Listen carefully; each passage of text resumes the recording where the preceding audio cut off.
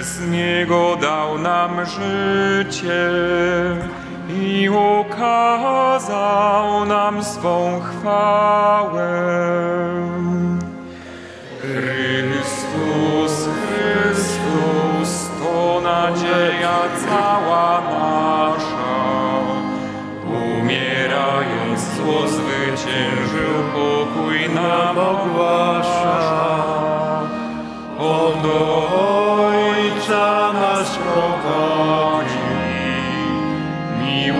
czyni życia prawem.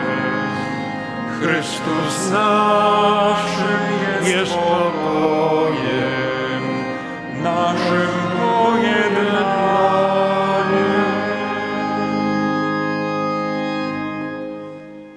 W imię Ojca i Syna i Ducha Świętego, miłość Boga Ojca, łaska naszego Pana Jezusa Chrystusa i dar jedności w Duchu Świętym, niech będą z Wami wszystkimi.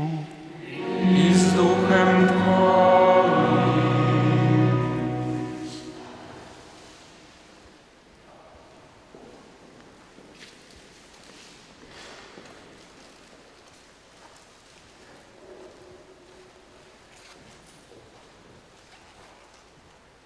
Wasza Eminencjo, czcigodny księże kardynale, w imieniu wszystkich parafian, grup i wspólnot parafialnych pragniemy wyrazić naszą wielką radość z obecności księdza kardynała wśród nas.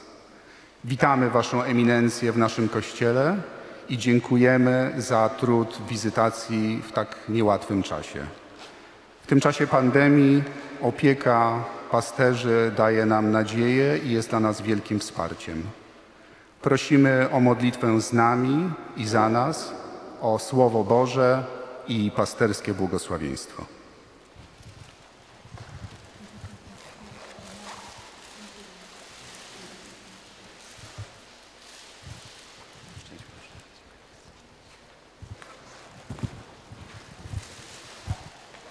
Do słów wypowiedzianych przez pana Karola, prezesa naszego parafialnego oddziału Akcji Katolickiej, pragnę również swoje słowo dołączyć. Księże kardynale, witamy na rozpoczynającej się dzisiaj wizytacji parafialnej. Ostatnia miała miejsce pięć lat temu. Nie tak sobie wyobrażaliśmy dzisiejsze spotkanie. W warunkach pandemii ta wizytacja ograniczona jest tylko do wspólnej Eucharystii. Księże kardynale, w tym trudnym czasie bardzo czekamy na Twoje pasterskie słowo. Osobiście taką wizytację wyobrażam sobie, że do owczarni przyjeżdża pasterz, by zobaczyć, czym żyją, jakimi radościami żyją, jakimi trudnościami, jakimi kłopotami. Księże kardynale, mamy i kłopoty, mamy i radości. Dzisiaj to wszystko we wspólnej modlitwie chcemy powierzyć Bogu i niech to wszystko zostanie pobłogosławione i umocnione Twoim błogosławieństwem. Kochani bracia, witam Was wszystkich, przedstawicieli poszczególnych wspólnot, witam nasze siostry Felicjanki, witam katechetów, przedstawicieli poszczególnych grup i wspólnot, witam kapłanów, szczególnie ojca prowincjała, kapelana, księdza kardynała, księdza Mateo i wszystkich zebranych. Przeprośmy Boga za nasze grzechy, abyśmy mogli z czystym sercem złożyć najświętszą ofiarę. Spowiadam się Bogu Wszechmogącemu i Wam, bracia i siostry, że bardzo zgrzeszyłem myślą, mową, uczynkiem i zaniedbaniem. Moja wina, moja wina, moja bardzo wielka wina. Przeto błagam Najświętszą Maryję, zawsze dziewicę, wszystkich aniołów i świętych,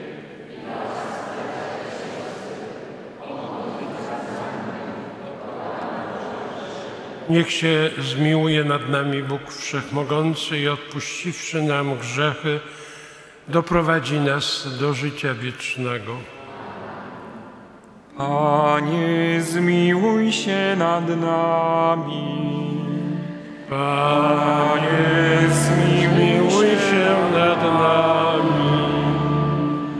Chryste, zmiłuj się nad nami. Chryste, zmiłuj się nad nami. Panie, zmiłuj się nad nami. Panie,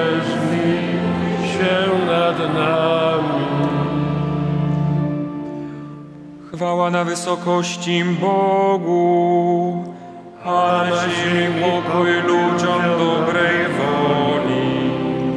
Chwalimy Cię, błogosławimy Cię, wielbimy Cię, wysławiamy Cię. Dzięki Ci składamy, bo wielka jest chwała Twoja. Panie Boże, Królu Nieba,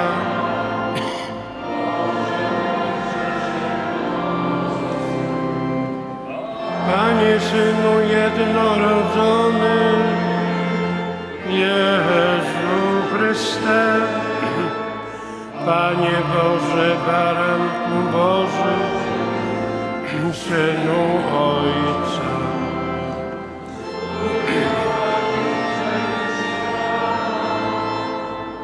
Miłuj się nad nami, który gładzisz grzechy świata, przyjm błaganie nasze. Który siedzisz po prawicy Ojca, zmiłuj się nad nami, albowiem tylko Tyś jest święty, tylko Tyś jest Panem. Tylko Tyś najwyższy, Jezu Chryste, z Duchem Świętym.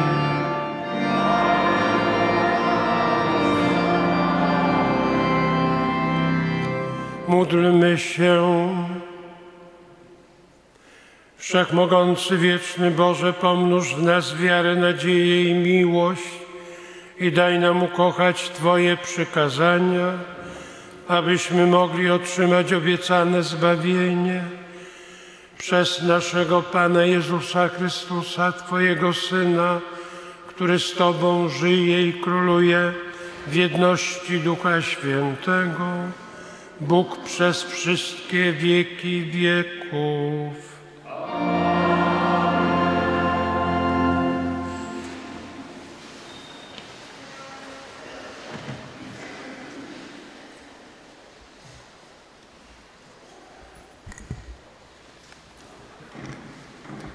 Czytanie z Księgi Wyjścia.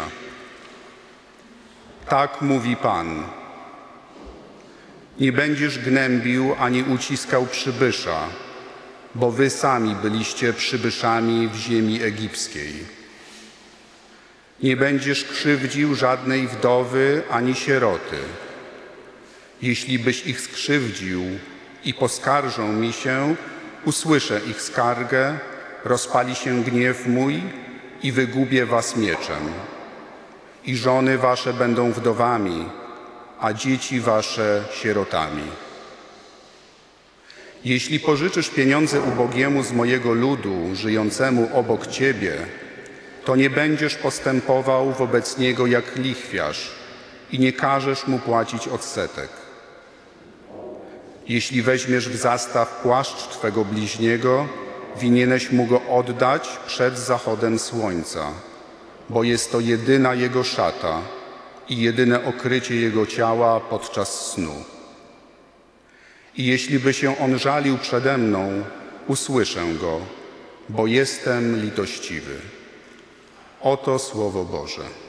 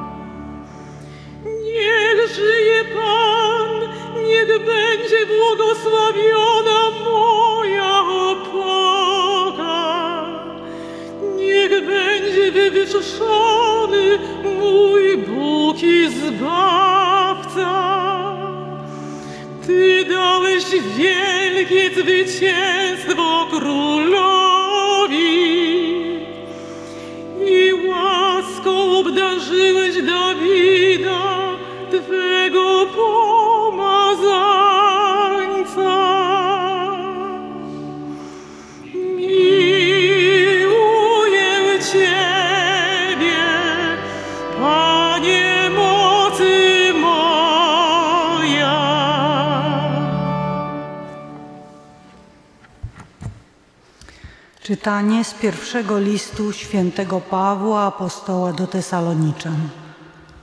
Bracia, wiecie, jacy dla was byliśmy, przebywając wśród was, a wy, przyjmując słowo pośród wielkiego ucisku, z radością Ducha Świętego, staliście się naśladowcami naszymi i Pana tak, że okazaliście się wzorem dla wszystkich wierzących w Macedonii i Achai. Dzięki Wam nauka Pańska stała się głośna nie tylko w Macedonii i Achai, ale Wasza wiara w Boga wszędzie dała się poznać, tak, że nawet nie potrzebujemy o tym mówić. Albowiem oni sami opowiadają o nas, jakiego to przyjęcia doznaliśmy od Was jak nawróciliście się od bożków do Boga, by służyć Bogu żywemu i prawdziwemu i oczekiwać z niebios Jego Syna, którego wskrzesił z martwych, Jezusa, naszego Wybawcę od nadchodzącego gniewu. Oto Słowo Boże.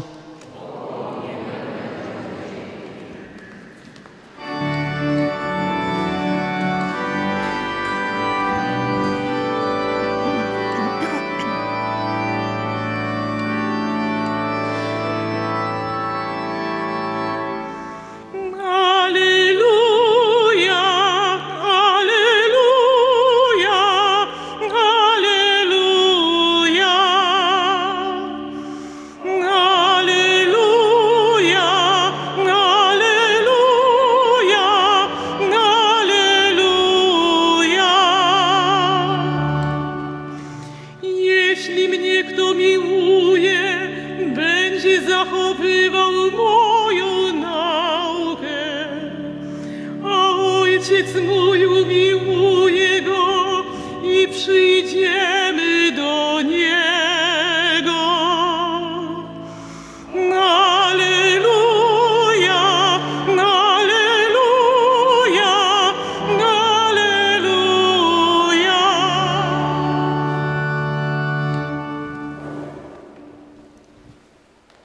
Pan z wami. Słowa Ewangelii według świętego Mateusza.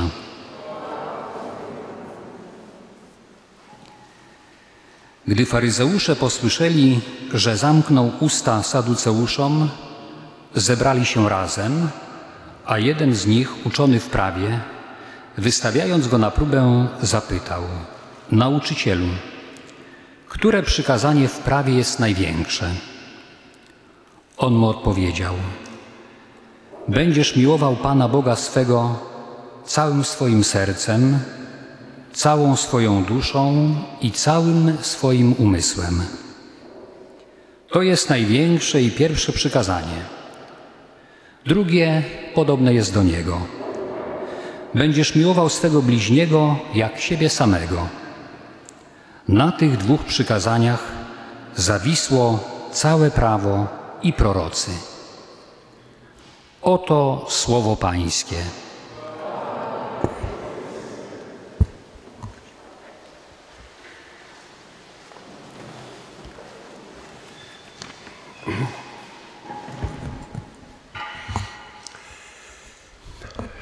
Moi kochani, pragnę odpowiedzieć na te słowa powitania, które wyraziła para, małżeństwo waszej parafii, ale również wasz ksiądz proboszcz. Rzeczywiście miała być uroczysta wizytacja, która przypada w każdej parafii raz na pięć lat i jest pasterskim przede wszystkim spotkaniem biskupa ze swoimi wiernymi w wymiarze jednej parafii jest spotkaniem na mszach świętych niedzielnych.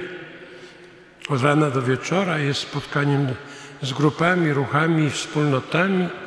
Jest spotkaniem w szkołach, jest spotkaniem z katechetami i z różnymi przedstawicielami parafialnego życia. Tak miało być. Tak zaplanowaliśmy prawie rok temu. Jeszcze wydawało się, że w lutym tego roku wszystko jest aktualne i tak to się odbędzie. Niestety nie zawsze jest tak, a może nawet czasem trzeba powiedzieć, często jest tak, że człowiek planuje, a w życiu wychodzi to, co wychodzi. I rzeczy zupełnie nieprzewidziane, niezaplanowane. Chciałoby się w przypadku wirusa powiedzieć niewidzialne nawet pod przeciętnym mikroskopem, stają na, w poprzek tych ludzkich planów i zamiarów. I wtedy człowiek okazuje się mały, mimo że mu się jeszcze pół roku temu wydawało, że wszystko rozeznał, że jest panem świata, że potrafi panować, że nie ma i nie będzie już żadnych niespodzianek. Pytanie tylko, czy potrafimy być w tym wszystkim pokorni i uznać swoją małość wobec stworzenia, wobec świata, wobec tego wszystkiego, co jest w takim czasie, właśnie teraz żyjemy. I trzeba było te nasze plany ludzkie, misterne, podporządkować temu, co się wydarzyło, co nazywamy pandemią.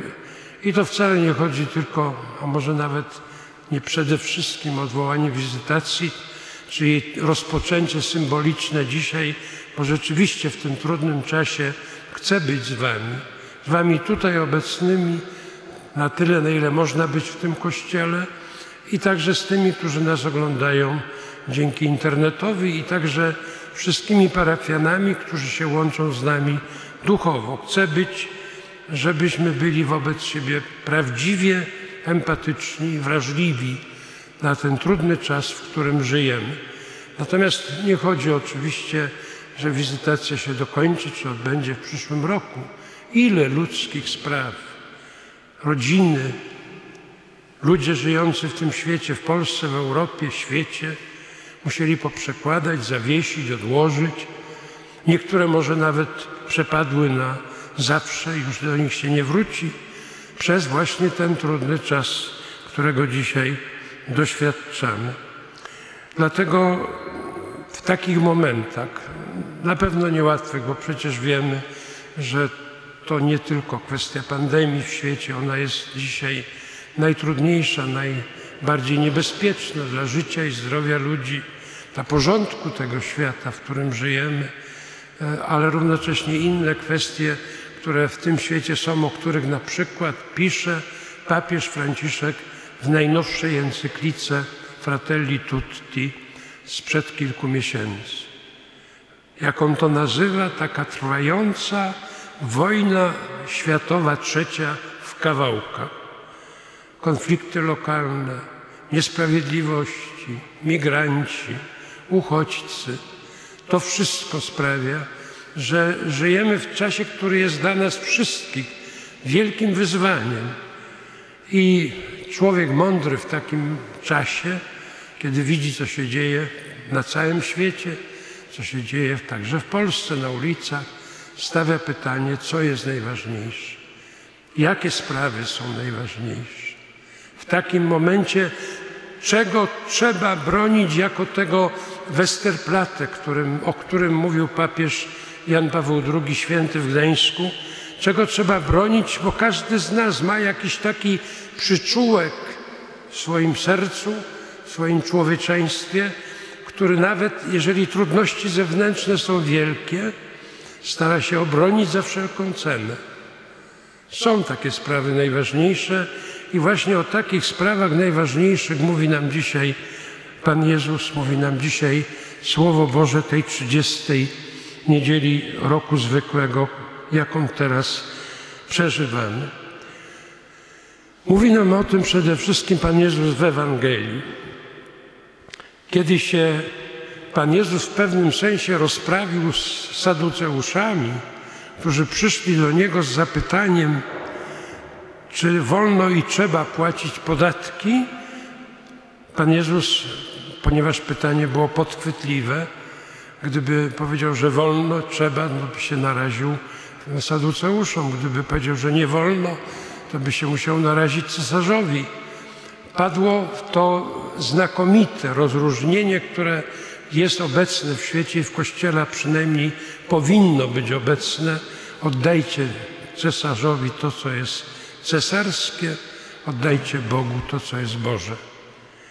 To mądre rozdzielenie porządków w świecie i w człowieku, ono stało i stoi u początku tego, co Kościół przez wieki czynił. Ile razy się Kościół e, zbliżał do tego zakłócenia porządku albo pomieszania tych porządków, tyle razy na tym wychodziło źle i państwo, i cesarze, średniowieczni i późniejsi, i tyle razy źle wychodził na tym Kościół.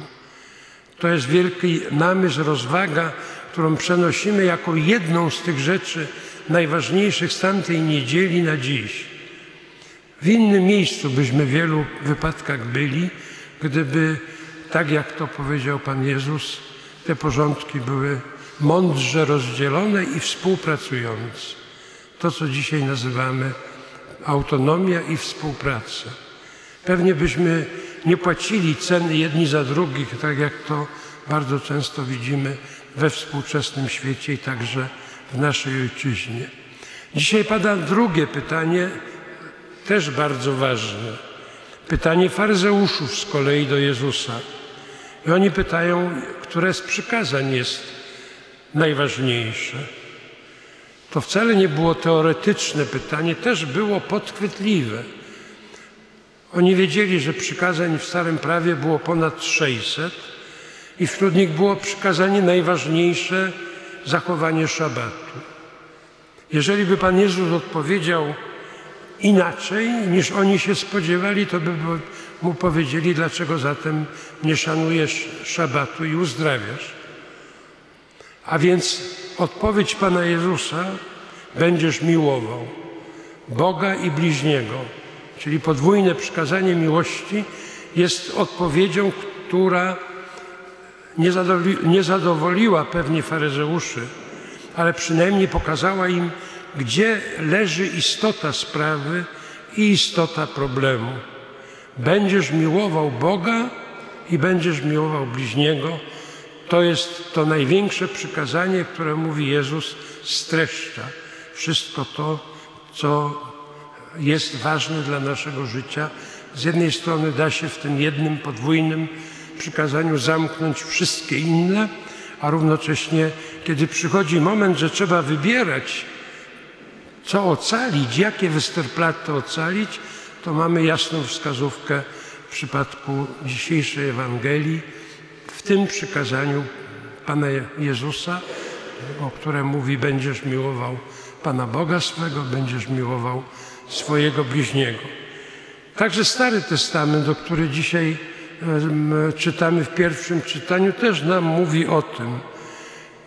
Izraelici po wyjściu z niewoli Egiptu, egipskiej, także Pan Bóg im przypomniał, co mają czynić.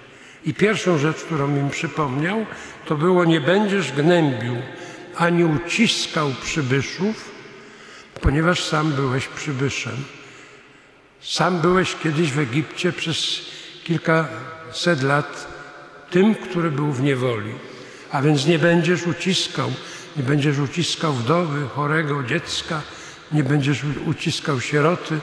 To są te przykazania, które niejako wyprzedzają to, co dzisiaj nam mówi w Ewangelii Pan Jezus, w sensie takim, że wyprzedzały także Jezusa i Ewangelię, ponieważ były przed przyjściem Chrystusa już obowiązujące, a Pan Jezus jakby to wszystko dopełniał, wypełniał i równocześnie syntetyzował i dawał nam dzisiaj. I zwróćmy uwagę, że kiedy są trudne czasy, to ludzie szukają takich syntez odpowiedzi zbiorowych, żeby ocalić to, co najważniejsze. W latach 60.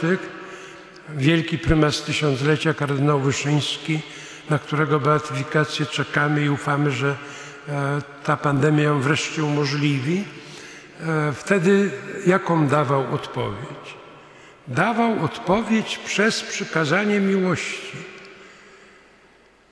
Przestrzegał przed nienawiścią, a równocześnie mówił, kto kocha, ten zwycięża, kto nienawidzi, ten już przegrał.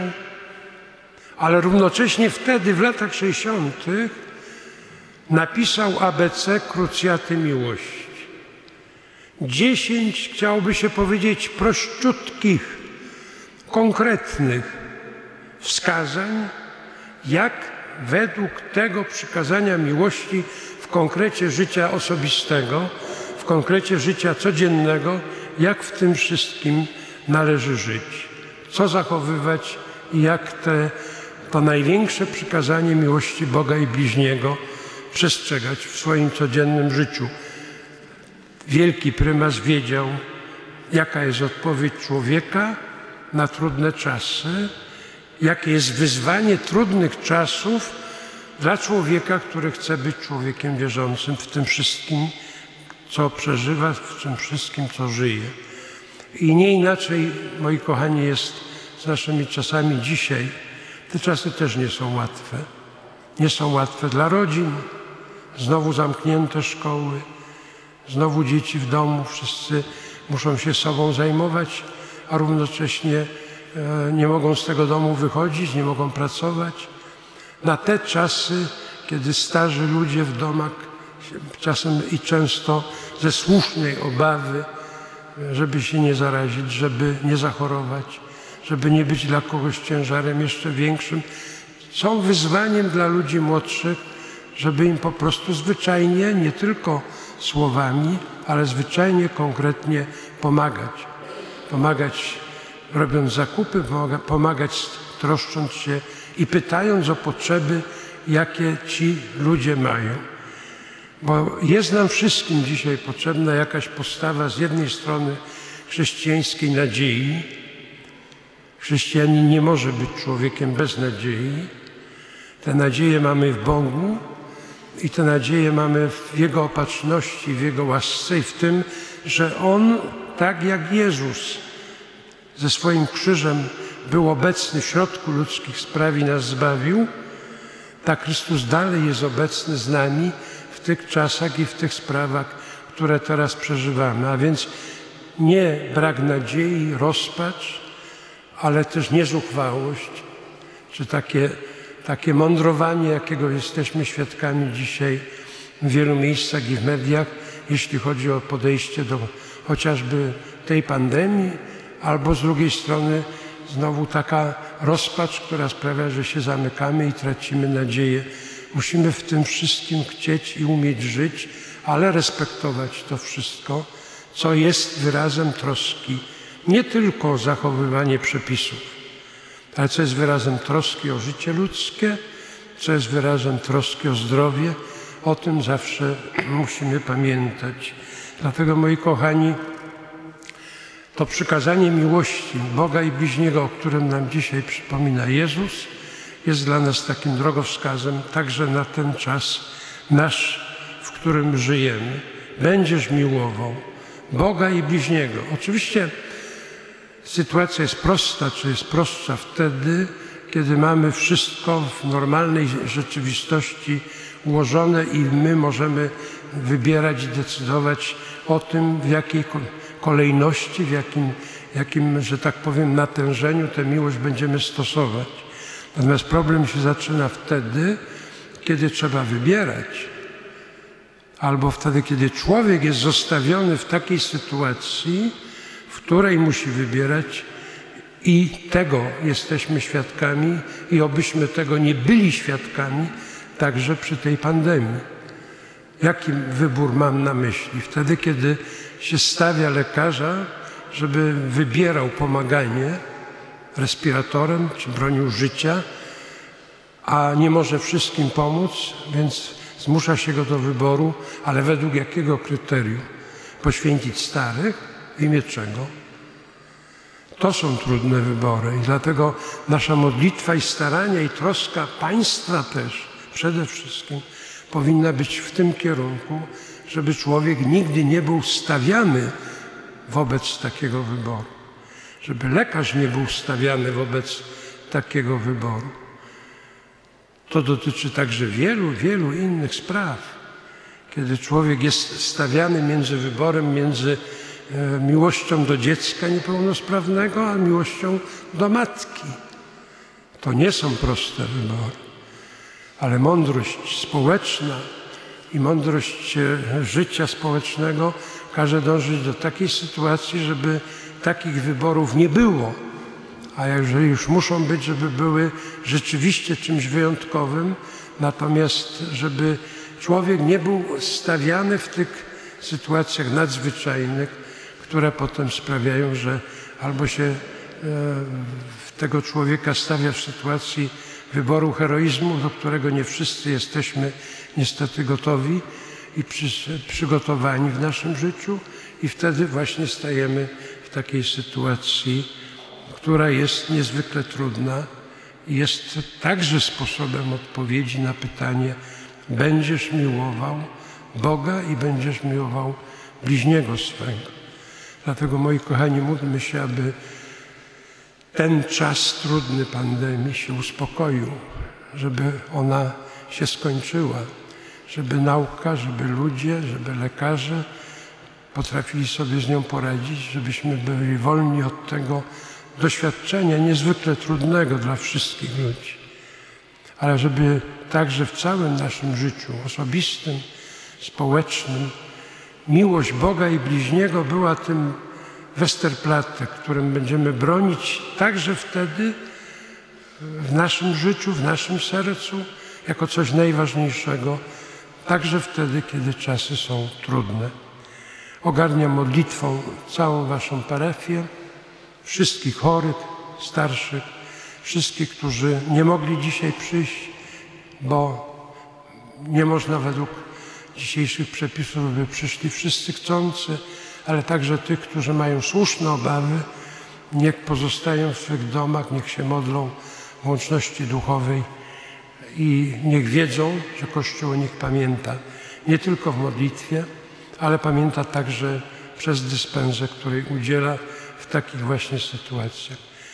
Módlmy się więc dzisiaj, a przyjdzie taki czas, kiedy tę wizytację parafialną dokończymy w znaczeniu rozwiniemy także wtedy, kiedy będzie można spotkać grupy, kiedy będzie można wyjść poza mury Kościoła do wspólnot, które w tej parafii są, która, które w tej parafii żyją i sprawiają, że Wasza parafia świętego Szczepana jest żywa.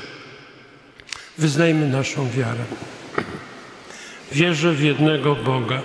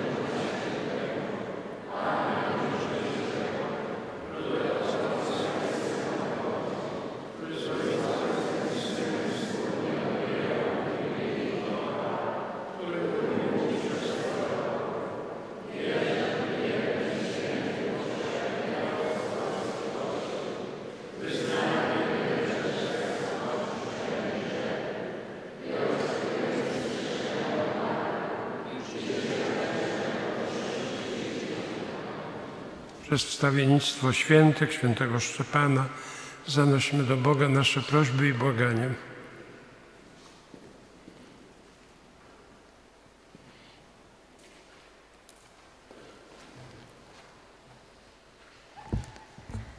Módlmy się za Kościół, aby zwiastowana przez Niego Ewangelia była przyjmowana przez ludzi i wprowadzana w życie społeczeństw. Ciebie prosimy. Wysłuchaj nas, Panie.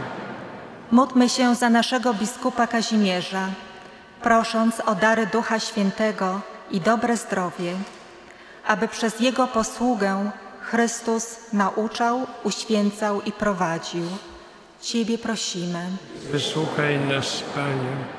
Módlmy się za naszą Ojczyznę, o nawrócenie dla błądzących oraz o odwagę obrony tego, co chrześcijańskie przez wierzących.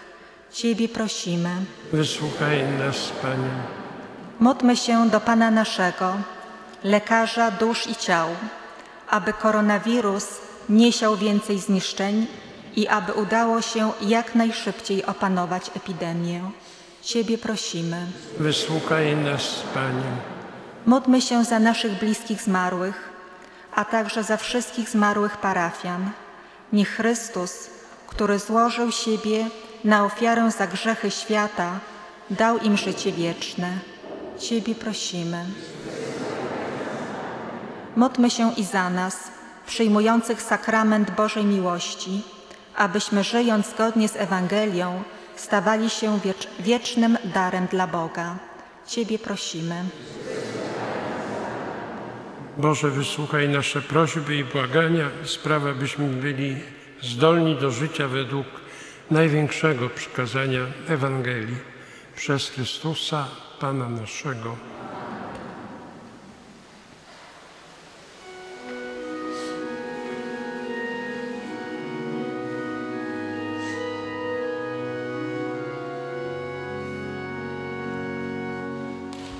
Gdzie miłość wzajemna i dobroć, tam znajdziesz Boga żywego. Gdzie miłość wzajemna i dobroć, tam znajdziesz Boga żywego. Jedno nas tu zgromadziła miłość Chrystusa, weselmy się w nim i radujmy. Z pokorą szczerą miłujmy Boga, Z czystego serca miłujmy się nawzajem. Gdzie miłość wzajemna i dobroć, tam znajdziesz Boga żywego. Módlcie się, aby moją i waszą ofiarę przyjął Bóg Ojciec Wszechmogący.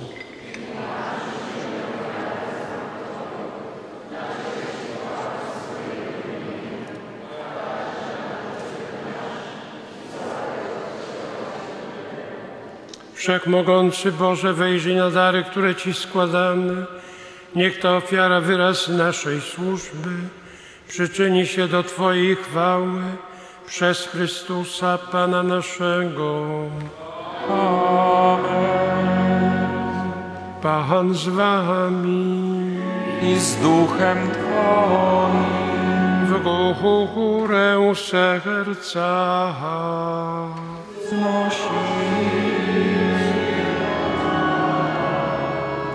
Dzięki składajmy Panu Bogu naszemu.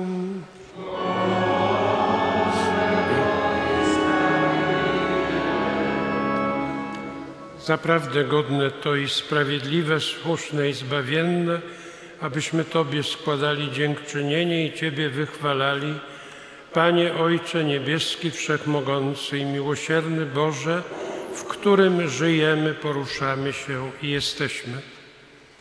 W czasie naszej doczesnej pielgrzymki doznajemy Twojej dobroci w codziennych potrzebach i unosimy w sobie już zadatek życia wiecznego, mając bowiem pierwsze dary ducha, przez którego wskrzesiłeś z martwych Jezusa, spodziewamy się wiekuistego udziału w misterium paschalnym.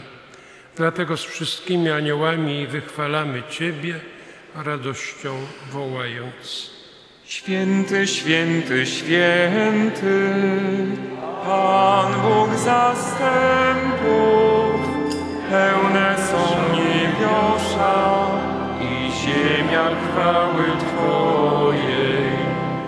Hosanna na wysokości, błogosławiony, który idzie w imię Pańskie. Hosanna na wysokość. Zaprawdę święty jesteś Boże, źródło wszelkiej świętości. Dlatego stajemy przed Tobą i zjednoczeni z całym Kościołem uroczyście obchodzimy pierwszy dzień tygodnia, w którym Jezus Chrystus zmartwychwstał i zesłał na apostołów Ducha Świętego. Przez Chrystusa prosimy Ciebie, Wszechmogący Boże. Uświęć te dary mocą Twojego Ducha, aby stały się dla nas ciałem i krwią naszego Pana Jezusa Chrystusa. On to, gdy dobrowolnie wydał się na mękę, wziął chleb i dzięki Tobie składając łamał i rozdawał swoim uczniom, mówiąc Bierzcie i jedzcie z tego wszyscy. To jest bowiem ciało moje, które za was będzie wydane.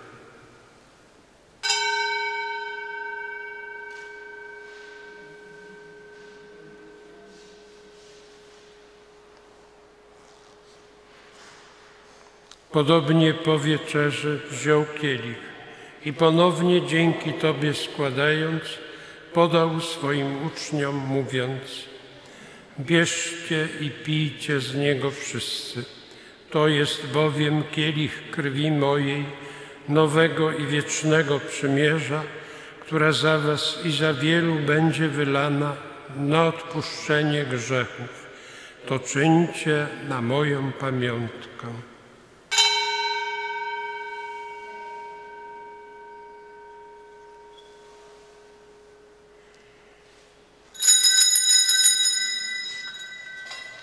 Oto wielka tajemnica wiary. Głosimy śmierć Twoją, Panie Jezu. Wyznajemy Twoje zmartwychwstanie i oczekujemy Twojego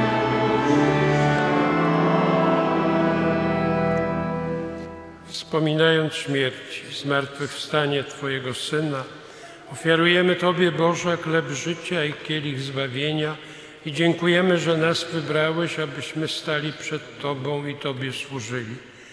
Pokornie błagamy, aby Duch Święty zjednoczył nas wszystkich, przyjmujących ciało i krew Chrystusa. Pamiętaj Boże o Twoim Kościele na całej ziemi. Spraw, aby lud Twój wzrastał w miłości razem z naszym papieżem Franciszkiem, naszym biskupem Kazimierzem oraz całym duchowieństwem. Pamiętaj także o naszych zmarłych braciach i siostrach, którzy zasnęli z nadzieją zmartwychwstania i o wszystkich, którzy w Twojej łasce odeszli z tego świata.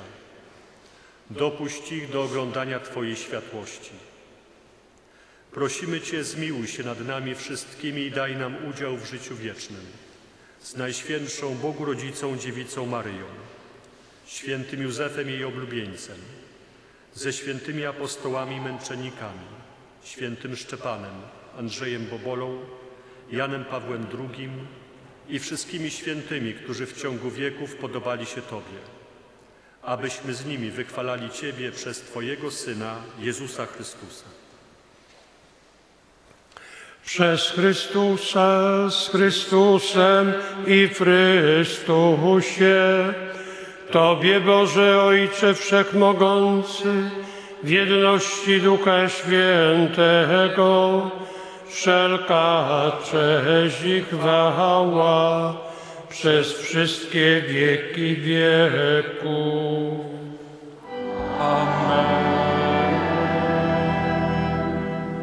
Módlmy się do Ojca Niebieskiego, jak nas nauczył Jezus Chrystus.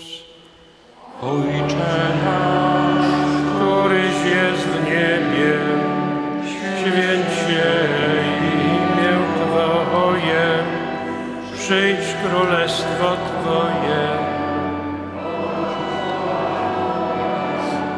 Jako w niebie, chleba naszego powszedniego daj nam dzisiaj i odpuść nam nasze winy, jako i my odpuszczamy naszym winowajcom. i nie budź nas na pokuszenie, Ale nas zbaw ode złego. Wybaw nas, Panie, od zła wszelkiego i obdasz nasze czasy pokojem. Wspomóż nas w swoim miłosierdziu, abyśmy zawsze wolni od grzechu i bezpiecznie od wszelkiego zamętu, pełni nadziei oczekiwali przyjścia naszego Zbawiciela, Jezusa Chrystusa.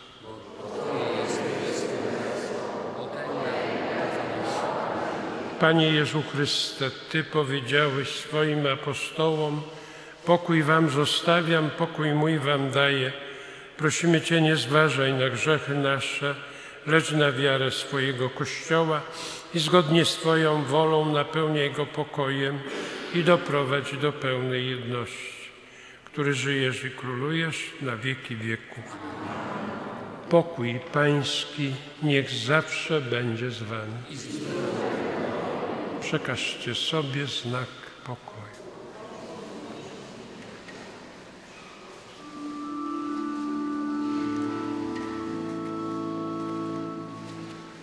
Baranku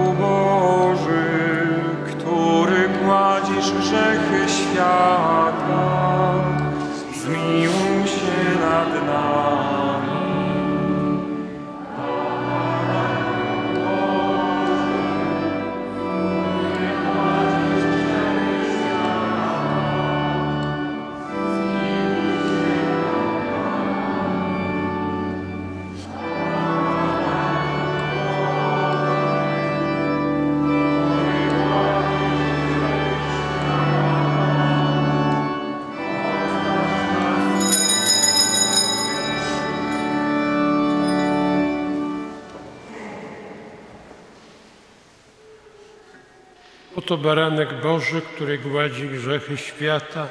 błogosławieni, którzy zostali wezwani na Jego ucztę.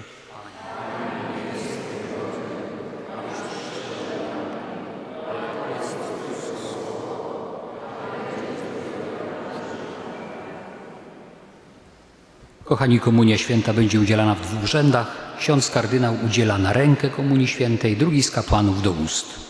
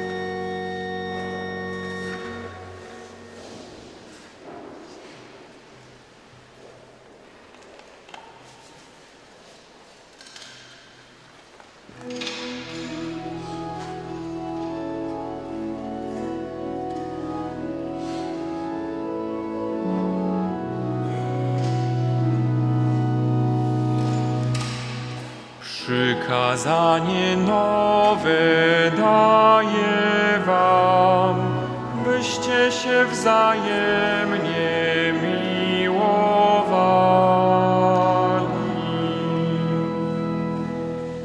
Gdybym mówił językami ludzi aniołów, a miłości bym nie miał, stałbym się jak miedź brzęcząca albo cymbał brzmiący. Przykazanie nowe daję wam, byście się wzajemnie miłowali.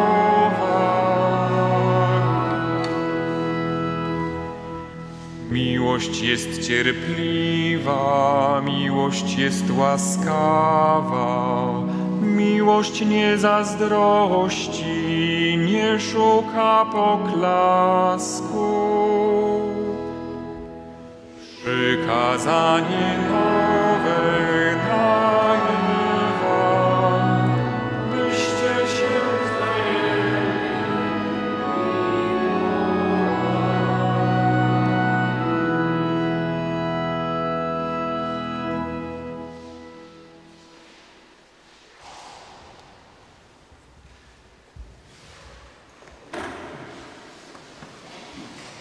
Módlmy się. Boże nasz Ojcze, niech Twój sakrament dokona w nas tego, co oznacza, abyśmy osiągnęli zjednoczenie z Chrystusem, którego przyjmujemy pod osłoną chleba i wina, który żyje i króluje na wieki wieków.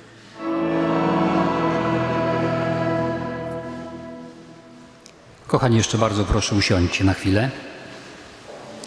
Kochani parafianie, wraz z Wami chciałem podziękować księdzu kardynałowi za jego obecność pośród nas dzisiaj i za słowo, które nam zostawia.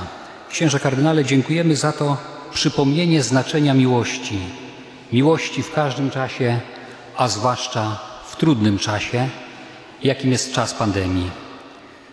Ta walka o miłość, troska o miłość w naszych sercach będzie naszym Westerplatte w codziennej posłudze parafialnej dzień po dniu. Za to, księże kardynale, bardzo dziękuję. Kochani, z racji wizytacji pisałem sprawozdanie, przedstawiłem je księdzu kardynałowi i chcę tylko powiedzieć o jednej rzeczy, którą napisałem, mianowicie, że pandemia dotknęła również i naszą wspólnotę, trochę spowolniła tempo naszego życia i naszej pracy, przerzedziła szeregi, ale nawet na moment nie zatrzymała naszej obecności i posługi w Kościele. Księże kardynale, gdy były restrykcje na początku dotyczące liczby uczestników, to tak się składało, że odprawialiśmy msze święte równolegle i w kościele, i w kaplicy, w domu parafialnym, by jak najwięcej parafian mogło we mszy świętej uczestniczyć. Odwiedzaliśmy chorych z komunią świętą, służyliśmy pomocą, radą, staraliśmy się być i czuliśmy, jak bardzo potrzebni jesteśmy sobie nawzajem. Księże kardynale i na koniec chcę podkreślić, że w tym trudnym czasie pandemii jedna rzecz dla mnie jest taka niezwykła, mianowicie ta, że nasi parafianie nie zostawili nas samych. W najtrudniejszych czasach pandemii, od początku do dziś dnia, wspierają nas i swoimi modlitwami, i ofiarami. Iluż ludzi nam śpieszy z pomocą. Dzięki temu możliwe jest funkcjonowanie naszej parafii, naszego codziennego parafialnego życia. I za to, kochani, wobec księdza kardynała chcę Wam bardzo serdecznie podziękować, że nie zostawiliście nas samych, że jesteście z nami. Podziękować chcę również moim współbraciom, całej ekipie parafialnej. Te podziękowania składam na ręce ojca prowincjała za pracę i posługę moich współbraci, za to, że byliśmy razem, zespołem. I chcę również podziękować naszym siostrom Felicjankom w roku jubileuszu 50-lecia obecności w naszej parafii. Kochani, przed nami ostatni tydzień modlitwy różańcowej, za tydzień niedziela uroczystość wszystkich świętych, a ze swej strony pragnę Was zaprosić w najbliższy piątek na godzinę 18.30 podczas mszy świętej wieczornej nasz współbrat, brat Remigiusz Rutecki złoży swoje ostatnie śluby. Wiem, jakim skarbem jest brat Remigiusz dla nas, dla parafii, dla naszej wspólnoty. Jeśli możecie, zapraszamy Was do udziału wraz z nim w jego uroczystości. Księże kardynale, bardzo serdecznie dziękujemy raz jeszcze i prosimy o Twoje pasterskie błogosławieństwo. Chciałem tylko dopowiedzieć, że sprawozdanie, które proboszcz składa przy okazji wizytacji, nie zostanie mu podarowane, dlatego że e, kiedy dopełnimy te wizytacje w możliwym czasie po pandemii, potrzeba, żeby to sprawozdanie było także wiadome dla Was, dlatego że wtedy widać w ciągu pięciu lat, ile rzeczy duchowych i ile rzeczy materialnych się stało w ciągu tego pięciolecia. Nawet na co dzień tego nie zauważamy.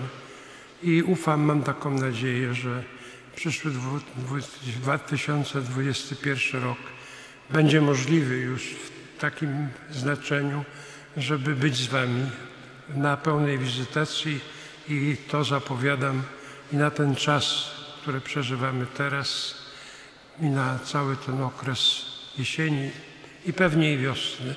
Przyjmijcie Boże błogosławieństwo. Pan z Wami.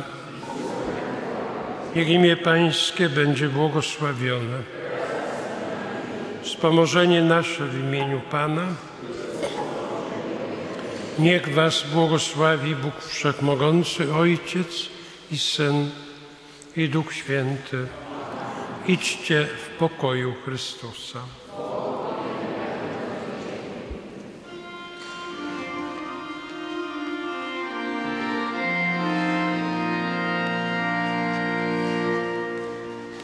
Pod